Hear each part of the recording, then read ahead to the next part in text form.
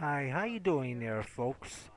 This video I'm making is about New York.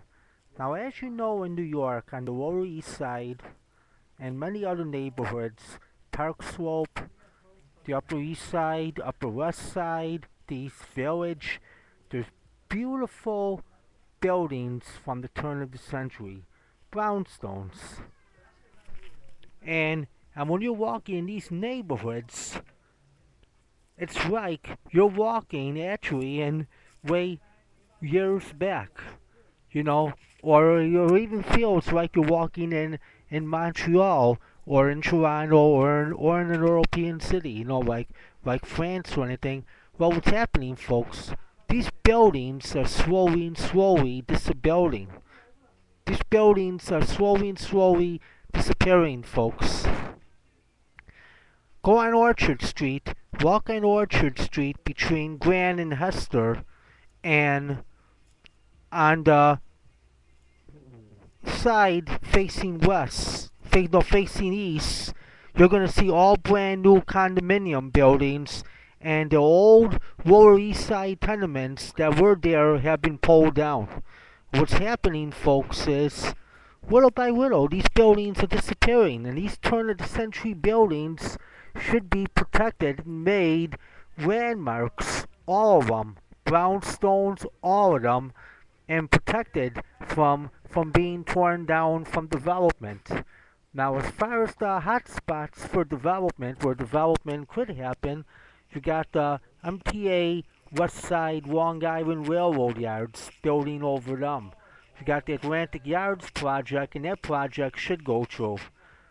That would that would really revitalize downtown Brooklyn. Another place where development should happen is along the Bowery, between along the Bowery between Sixth Sixth Street and all the way down to Canal Street.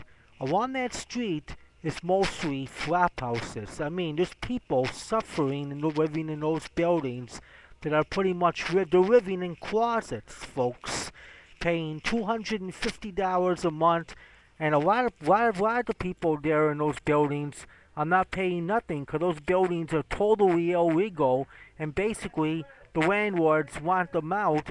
But in order for these people to get out, and believe me, these people do want to get out, they're waiting for big buyouts from the landlords so they can go somewhere else and live normally where right now, if they were to leave, they'd be sleeping in the street. People are suffering in these buildings. So if these buildings are bought by developers, the people there that are suffering living in these flop houses are bought out, don't have money to live normally, and that whole street really should be torn down and revitalized, made to look like Third Avenue uptown especially Bowling Grand, and that that that would be a very hot spot. That would be a very hot spot for developer would buy 125 Bowery, the building next door, the building next door over. That would be a very hot. That would be. I would say that's actually might be the hottest parcel in the area to, that that would that would be developed. Just imagine a 17-story apartment building there. But like I said, like I said, brownstones these turn of the century buildings in many and in Park Slope and a lot of areas like the Lower East Side, historic districts should be created where the buildings are all protected from development. Because this, this is history, folks. New York is slowly and slowly losing its personality. New York is losing its history little by little, and this history is what attracts tourists when they, they want to see that when they come to New York. You know,